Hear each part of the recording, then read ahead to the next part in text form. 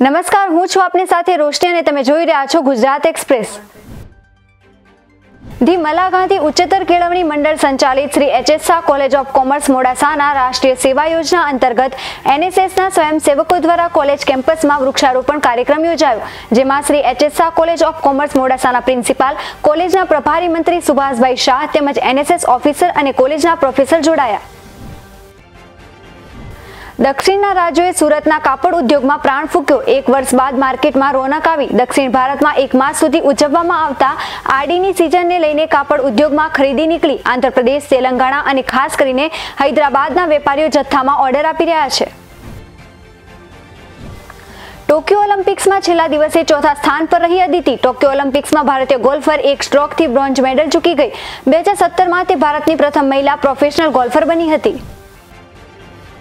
સ્કૂલો શરૂ થતા બાળકોને જોખમ. કોવિડ કોર કમિટીના સભ્ય ડોક્ટર પાર્થિવ મહેતાની ચેતવણી. ભેજવાળું વાતાવરણ, તડકાનો અભાવ પચીસથી પાંત્રીસ ડિગ્રી તાપમાનમાં કોઈ પણ વાયરસ, બેક્ટેરિયા, ફૂગને સાનુકૂળ વાતાવરણ મળી રહે છે.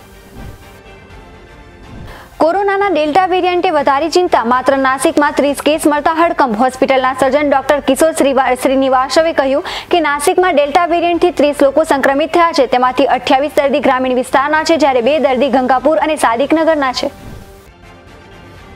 ગુજરાતમાં પંદર ઓગસ્ટ સુધી વરસાદની કોઈ આશા નથી. પાણીના અભાવે ખેડૂતોના પાકને નુકસાનની શક્યતાઓ. અમદાવાદમાં ગરમી વધશે. રાજ્યમાં ચોમાસાના બે રાઉન્ડ પછી એકતાલીસ ટકા વરસાદની ઘટ. ચાલુ વર્ષે જુલાઈ મહિનામાં ગુજરાતમાં સરેરાશ પાંત્રીસથી સાડત્રીસ ટકા વરસાદ થયો. સાંગનારાના ગ્રામજનોનો હુંકાર. પહેલા અમારી કબર બનશે, પછી જ અહીં પવનચક્કી ખોદવા દઈશું. કલેક્ટર એક મહિનામાં હુકમ રદ નહીં કરે તો ઉગ્ર લડતની ચીમકી. સાંગનારામાં ગૌચર પર્યાવરણ બચાવવા ગ્રામજનો ઉજીવ આપવા પર આવી ગયા. ઇંગ્લેન્ડમાં યોજાનારા બ્રિક ઇન્ટરનેશનલ એવોર્ડ માટે સુરતના આર્કિટેક્ટે બનાવેલા ઇન્ટના પ્રોજેક્ટને નોમિનેશન મળ્યું. દસ ઓગસ્ટના રોજ પસંદગી પામેલા બિલ્ડિંગ્સ પૈકી બેસ્ટ બિલ્ડિંગનો એવોર્ડ લંડનમાં અપાશે. આણંદ ખંભાત વચ્ચે ટ્રેન દોડાવવાની તૈયારી. કોરોના કાળમાં બંધ કરાયેલી બંને શહેરો વચ્ચેની ટ્રેન પંદર ઓગસ્ટ પછી દોડતી થશે.